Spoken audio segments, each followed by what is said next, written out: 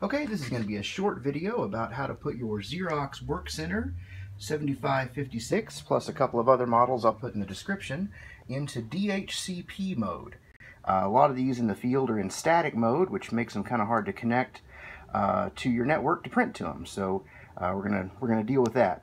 First thing we're gonna do is walk up to the machine. We're gonna push this log in, log out button right here. Uh, the default username is admin, all lowercase. And the default password is four ones.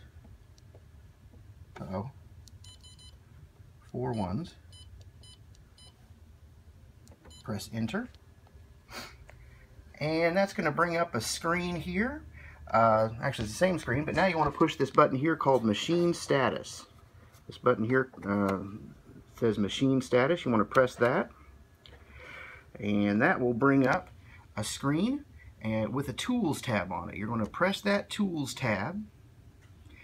And then that'll bring up a screen that looks like this. You want to go to Network Settings. See the option for Network Settings right here. You want to tap that. Then you want to tap TCP IP settings right here. And then that brings up this screen and you can see that dynamic uh, addressing uh, is right there. Now yours might have disabled lit up. If it does, just go ahead and press DHCP and that should put the machine in DHCP mode, make it easier to find on your network. Then just press save and then you can log out. Uh oh first you have to push close. Then you can log out um, and your machine uh, will verify that you want to log out and then it should take you back to the uh, services screen should take it back to that screen there.